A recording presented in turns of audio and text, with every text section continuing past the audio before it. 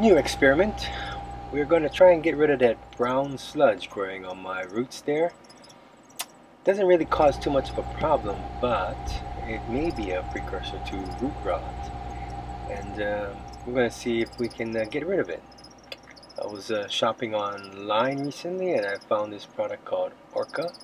It's probably been around for a long time, but it's the first time uh, I saw it there. So it's supposed to have both beneficial bacteria and mycorrhizae in them. Normally I only find one or the other and I have to buy two bags of each. But this one has uh, both in there so I thought I'd give it a try.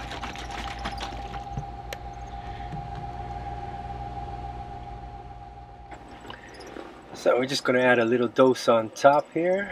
And there's a little white, uh, I don't know what that is in there, it's slowly working its way through the nutrient solution there. So definitely put in a bit. Not exactly sure what the directions said but uh, I guess I've never been one to read the directions that well but I think I got enough in there. Here we go. I have no idea what motivated me to cover this with foil tape but covered the whole thing with foil tape. I'm thinking that maybe we should keep the light out. Not that uh, it'll make any difference. I mean, if it is a cyanobacteria, then they, they, they work fine with or without light. But whatever is in the orca, I thought uh, maybe we keep the light out. Maybe it might work better. So, test, I'd say three days. So here we go. Three days later.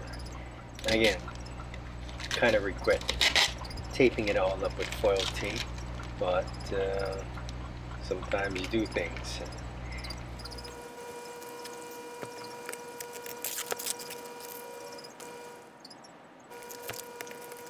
Yeah, sorry about that. I'm gonna have to wait till I take off all this tape so we can take a look.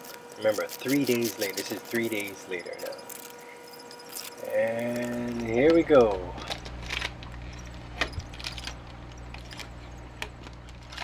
So days with Orca running under the uh, metal halide lamp at about 5000 Kelvin with an air stone. Looks like it drank up a good amount of uh, solution there and there is the roots. Kind of unsure at the moment. Um, is it better? Is it not better? I don't know.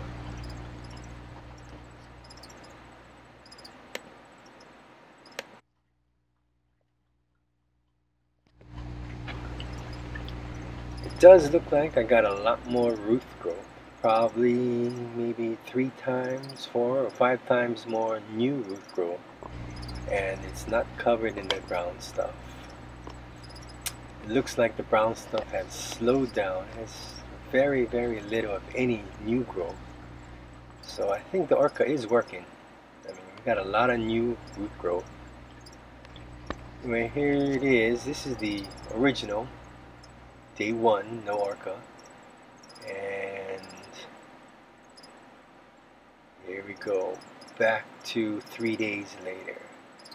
It's probably just a slight bit less or exactly the same amount of brown stuff, but a lot more new white roof growth. So I'd have to say I am unsure if it's working or not working Unfortunately, I only had one plant, so there's no control plan to see.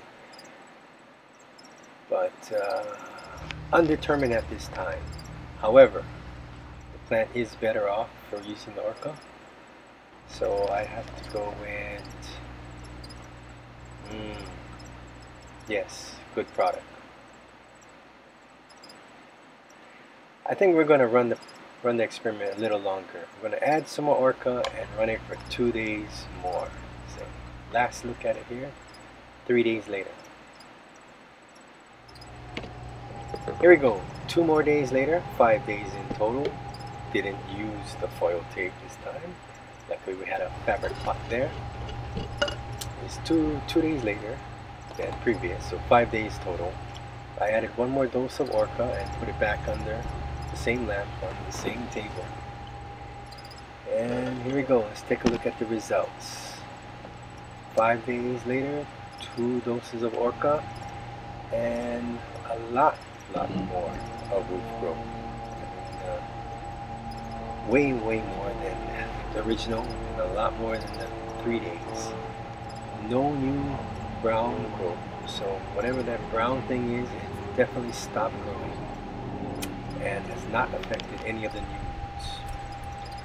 So here we go back to the first day, covered in the brown stuff. Fifth day. Third day, a lot more growth, a lot less brown. Fifth day.